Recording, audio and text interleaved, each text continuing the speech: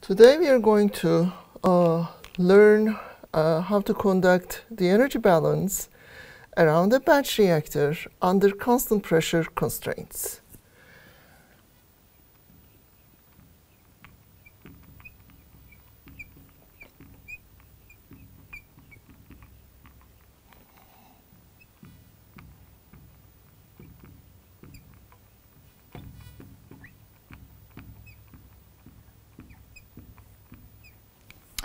Again, we will start from the species conservation equation.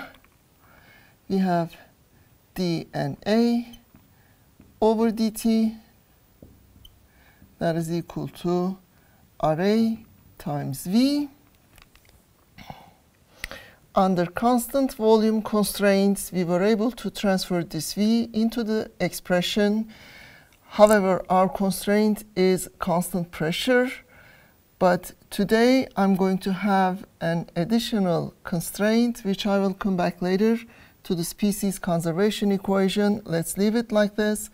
Let's derive the energy balance equation. So here on this side we have a material balance.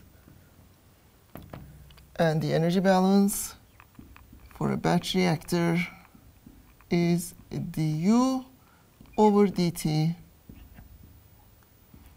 that is equal to net heat exchange, shaft work, and PdV over dt.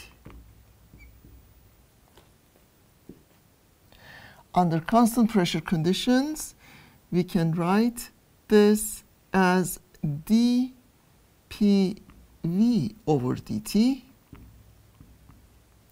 We can transfer it to the left side of the equal and bring with the internal energy term to obtain U plus PV. That is equal to Q plus shaft work. This term is called the enthalpy. dH over dt is equal to Q plus shaft work. So this is the first uh, and most rigorous way of uh, bringing the terms together uh, to have the reaction energetics uh, in terms of an enthalpy variable.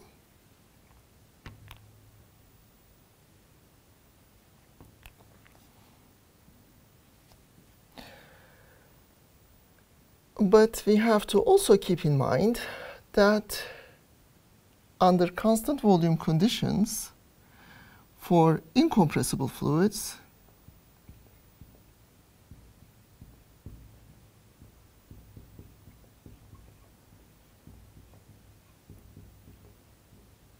such as liquids, dV over dt term is approximately zero. And dH over dt is approximately equal to du over dt and as a result heat capacity at constant pressure is almost equal to the heat capacity at constant volume. So here I'm going to continue for the condition where we have an incompressible fluid uh, because we have to uh, develop descriptions, equations, rigorous equations to take the volume change into account.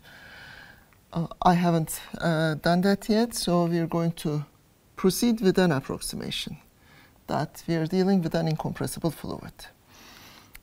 As a result, we have d over dt Ca to be equal to R sub A.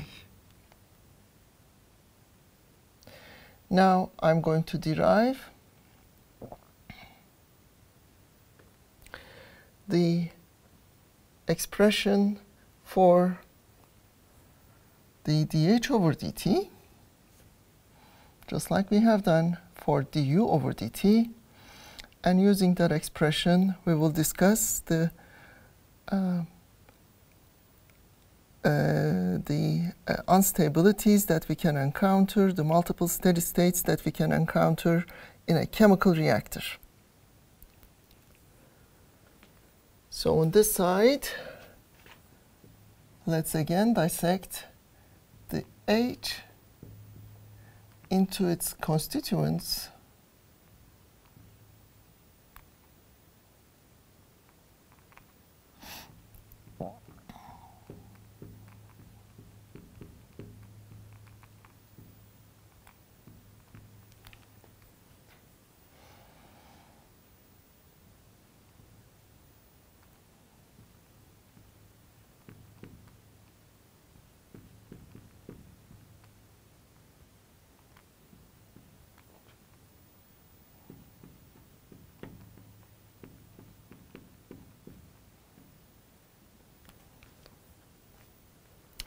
and obtain the final expression as we have done yesterday.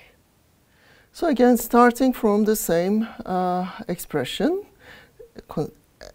by the addition of the adiabatic constraints of an adiabatic reactor and negligible shaft work, we are able to derive the temperature change within the reactor as a function of conversion, enthalpy change of the reaction, and the mean heat capacity mean feed heat capacity. Uh, the temperature expression is substituted in the Arrhenius expression, and as uh, we understand from this, uh, as the reaction proceeds, temperature increases. Now let's come back to the material balance side. Uh, we are uh, working for the incompressible fluid condition, and for the incompressible fluid, for a, a pseudo first order reaction, Ra is minus K times Ca, and our uh, time progression of this reaction for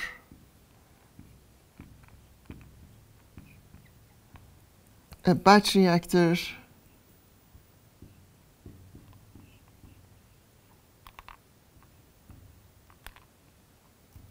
takes this form. And of course, since our temperature is a function of x, we are going to convert concentration to uh, the equivalent expression in terms of conversion, remembering that Ca0 minus Ca divided by Ca, Ca0 was equal to x or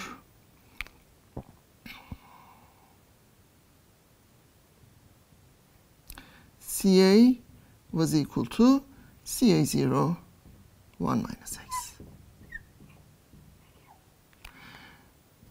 Or dCa over dt is equal to minus Ca0 dx over dt. Such that we have minus Ca0 dx over dt to be equal to minus k0 e to the minus e over r times t. t is equal to t0 plus delta h over cp mean mean feed heat capacity times x. Now instead of a temperature variable, we have a conversion variable in the Arrhenius form times Ca0 times 1 minus x.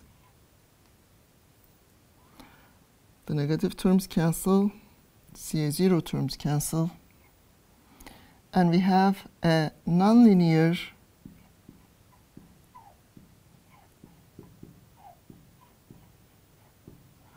ordinary differential equation to be solved with the constraint when time is equal to 0 with the initial condition time is equal to 0 x is equal to 0.